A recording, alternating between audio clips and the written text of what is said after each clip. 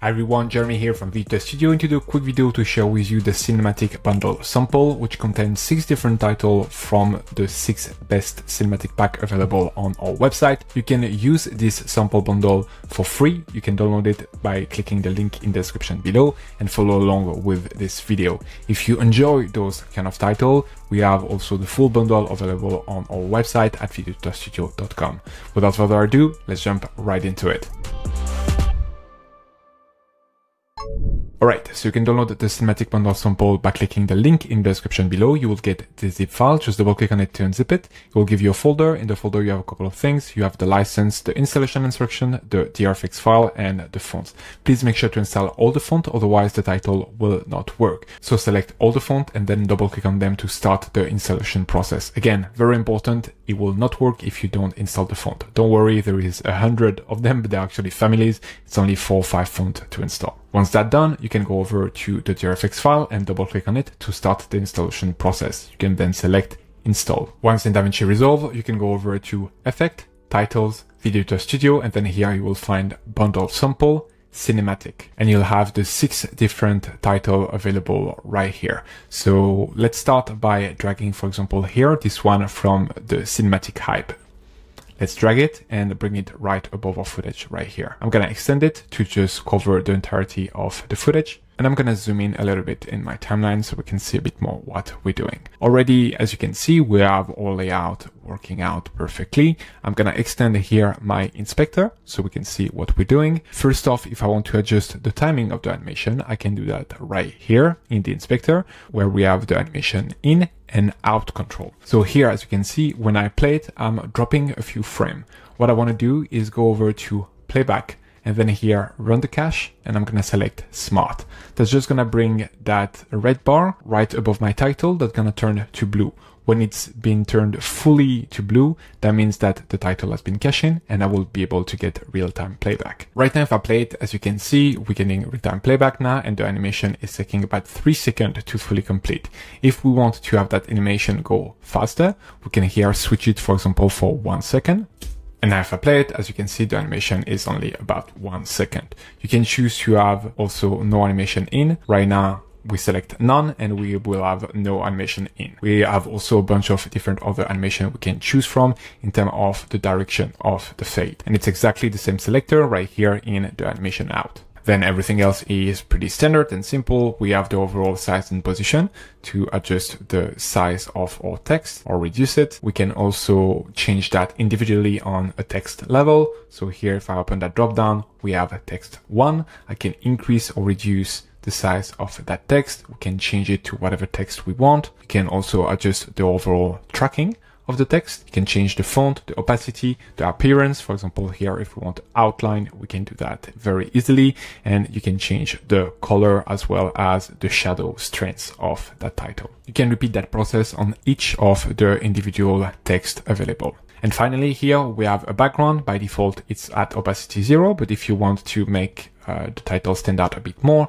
you can just here increase the opacity and it will just bring that layer in between the title and the footage to help your title pop a little bit more. Then we can bring the Film Festival Award sample. I'm gonna drag it right here. Same, I'm gonna make it the same length as my footage. As you can see right now, everything is very similar. We're sharing the same animation feature, uh, as well as the control for the size and position, the color, the text, so on and so forth. The main thing that's going to change from uh, one title to another is mostly going to be uh, the title itself, but the functionality going to remain the same. What you can do for a title like this one, for example, is that you can create your own layout. So here, if I just reduce, for example, the overall size, and then I'm breaking that down a little bit. We can then just duplicate that layout and uh, make a few of them. So here I'm just going to duplicate that.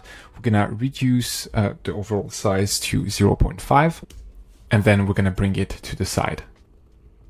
I'm going to repeat the same process for the other one and I'm going to displace it in the other direction. Then you could use another title like Cinematic Classic Sample, for example, and stack it again on the top of everything else. Now we can displace the overall position. So here, I'm just going to do that right here. And if I want to adjust the overall size and position of my layout now with those words, I can just select the three of them, right click and create a new compound clip. Then we can easily take that compound clip and adjust the overall position of it. So I'm going to drag it here a bit more above and I'm going to reduce the overall size. Then we can keep using the cinematic mode sample to add some lower third or other element in our video. So right now I can change same the text to whatever I want. You can change it to any font that you have available on your computer. For example, here I could go for Abe Garamond. Here I adjust the overall tracking and I can then place it wherever I want on screen. Again, if I want to create more separation with my background, I can use the shadow control. Here, for example, we could enable that and increase the shadow control, or we could use the background. So here, same thing, I can increase the opacity of that background. Also, what you could do with the background is that you could localize uh, that background. For example, here, if we increase the opacity, as you can see, we can then reduce here the overall width, the overall height, and then we can just place that right behind our text and then adjust the soft edges. That way we have a localized mask right behind the title that helps the title pop a lot more. On this specific one, you can also choose between uh, different style. Right now, as you can see, the letter are animated one by one in a random order, but you can choose that order to be, for example, here from left to right or from right to left, so on and so forth. And then lastly, for example, we could use our cinematic hype 2.0 and drag that in.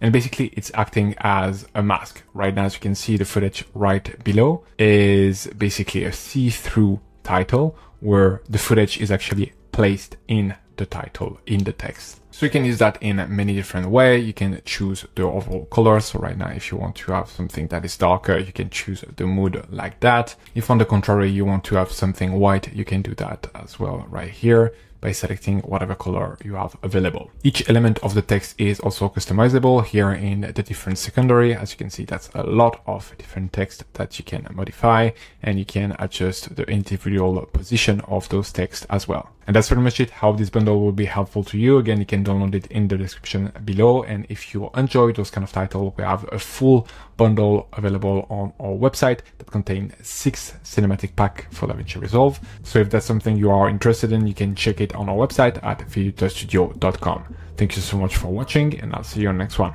Bye.